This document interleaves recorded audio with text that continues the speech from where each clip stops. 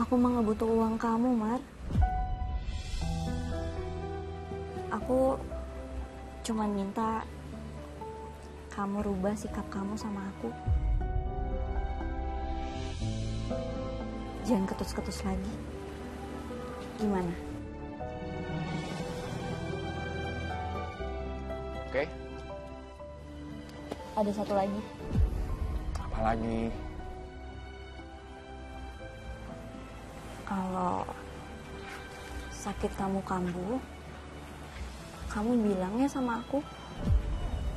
Aku akan jagain kamu.